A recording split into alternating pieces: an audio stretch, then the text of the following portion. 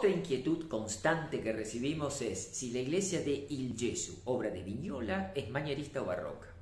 Acá estamos en un dilema, no problema. Es decir, hay dos respuestas que son válidas. Nos vamos a enfocar porque todo depende del autor y el momento histórico. Cronológicamente, la iglesia del Gesù se gesta en el mañerismo, siglo XVI. Viñola es arquitecto mañerista, siglo XVI.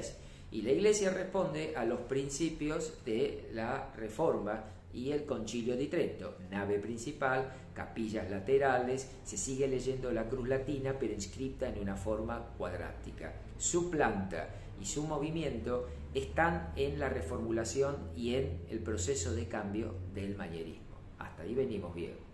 ¿Por qué en algunos libros se dice que es barroca? Justamente por la unidad espacial que el edificio tiene y sobre todo por su fachada. Es decir, fachada, originalmente hay un proyecto de Miguel Ángel que tenía toda una forma manerada. Después vino Viñola que la hizo un poco más clásica, ya que recuerden que era tratadista. Y después vino Giacomo de la Porta y le dio ya un toque más barroquizante. Desde el punto de vista cronológico, es mañerista desde el punto de vista espacial, prepara la entrada al barroco.